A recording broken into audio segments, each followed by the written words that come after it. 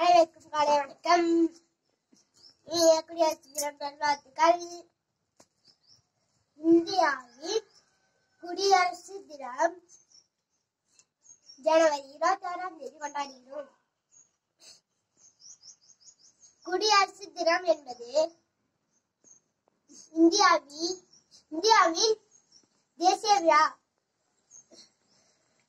பள்ளியில் கொடியேற்றும் விழாவில் அனைவரும் கலந்து கலந்து கொள்ள வேண்டும்.